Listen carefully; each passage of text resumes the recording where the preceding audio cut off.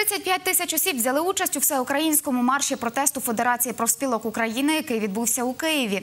Вони вимагали переглянути тарифи на газ та електроенергію. Загалом профспілки висували владі чотири вимоги: переглянути необґрунтовані тарифи на газ та електроенергію, внести зміни до закону України про державний бюджет щодо підняття державних соціальних стандартів, прожиткового мінімуму і мінімальної заробітної плати, погасити заборгованість із виплати заробітної плати, яка за інформацією про спілок сягає близько 2 мільярдів гривень. У роботодавців всіх форм власності профспілки вимагають передбачити 15% підвищення заробітної плати.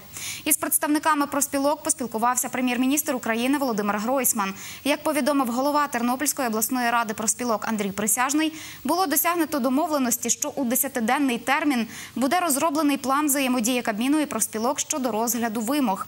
Подробиці телефоном журналістам Вістей ТТБ повідомив голова Тернопільської обласної ради профспілок Андрій Присяжний.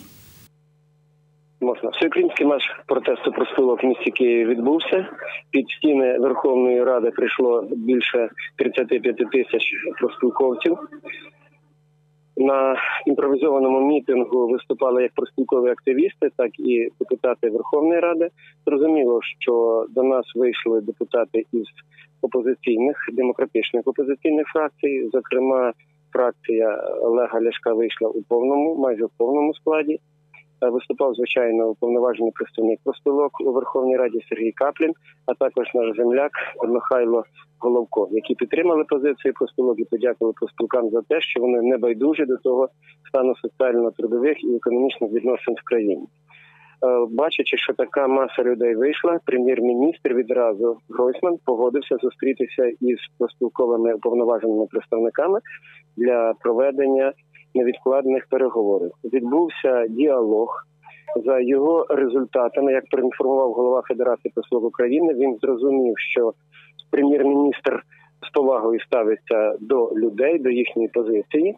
Тому найближчим часом будуть відбуватися вже конкретні предметні переговори з двох позицій. Перше, це, це буде стосуватися реформи оплати праці з тим розрахунком, що до 1 вересня вже вийти на конкретний законопроект про підвищення мінімальних заробітної плати прожиткового мінімуму з 1 жовтня 2016 року.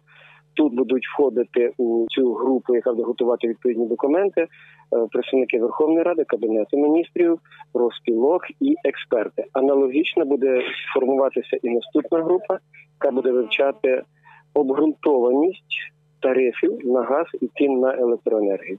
Тобто така робота розпочинається. Ми в ультимативній формі в резолюції мітингу дали можновладцям 10 днів для того, щоб був напрацьований план наших консультацій, нашої взаємодії, нашої спільної роботи для того, щоб е, ця робота була дійсно проведена, а не просто нам черговий раз, як кажуть, народі навішали локшини на вуха після того, як ми вже розійшлися.